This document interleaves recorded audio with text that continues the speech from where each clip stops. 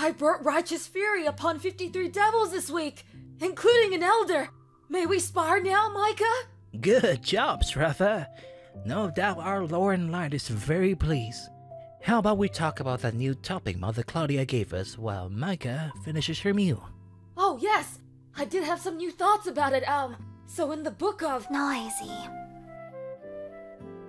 Heal the others, I can still push Armistead a little longer. I won't catch up to her otherwise.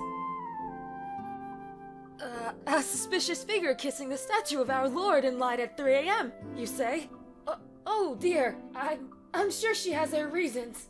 She, huh?